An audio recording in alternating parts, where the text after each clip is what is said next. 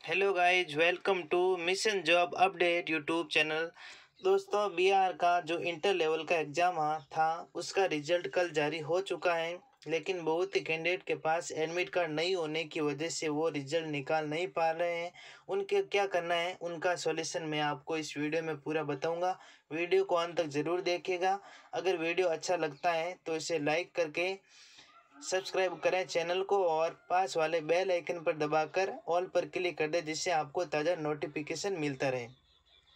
तो आपको कैसे एडमिट कार्ड लाना है और आपको कैसे रिज़ल्ट निकालना है और अब आसान हुआ रिज़ल्ट निकालना, इस वीडियो में पूरा बात करते हैं। आइए आपको सीधा ऑफिशियल वेबसाइट के माध्यम से बता रहा हूँ।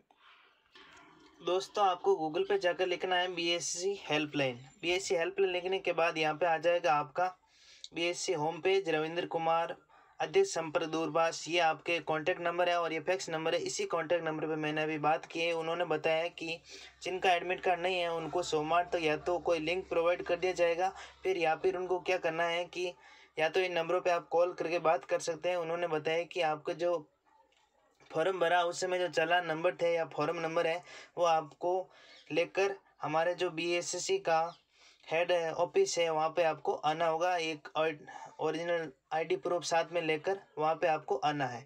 अगर आपके पास, किसी के पास तो बोले हैं कि एडमिट कार्ड भी नहीं है और फॉर्म भरा एप्लीकेशन फॉर्म भी नहीं है तो उनको क्या करना है? उनको एक आईडी प्रूफ लेकर जाना है, या तो आधार कार्ड हो लाइसेंस हो, कुछ भी आधार कार्ड या प्रूफ लेकर जाना है, उसके बाद आपको नज़दीकी अगर आप बिहार में हो तो आप वहाँ पर जाकर अपना सॉल्यूशन निकाल सकते हैं। अगर एक दो कैंडिडेट काफ़ी कैंडिडेट जाएँगे तो दूसरे कैंडिडेट जाएँगे तो जिनका नहीं निकला उनको भी फ़ायदा हो जाएगा। सभी कैंडिडेट नहीं जाएँगे तो भी इनका निकल जाएगा। और सोमवार तक उन्होंने बोला है कि लिंक प्रोवाइड कर दिया जाएगा, जिससे दोबारा न्यू एडमिट कार्ड निकाल सकेंगे।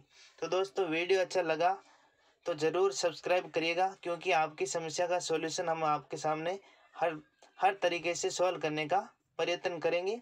धन्यवाद दोस्तों। Have a nice day.